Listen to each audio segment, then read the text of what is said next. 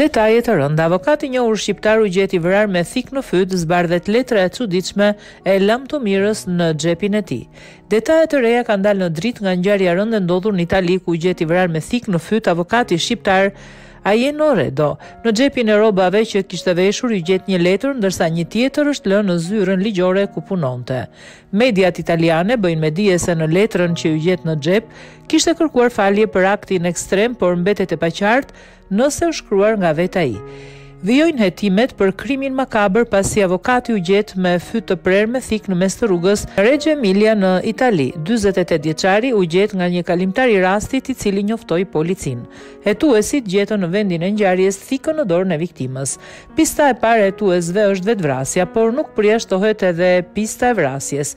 Kjo pasi ka dyshime se autori të ketë vendosur thikën në dorën e dyzet e tetë vjeçarit për të shmangur hetimet në mënyrë që ngjarja e rëndë të duket si vetëvrasje. Gjithçka pritet të zbardhet nga pamjet e kamerave të sigurisë në rrugë. Redo ka lënë gruan dhe dy fëmijët e tij, 9 dhe 18 vjeç.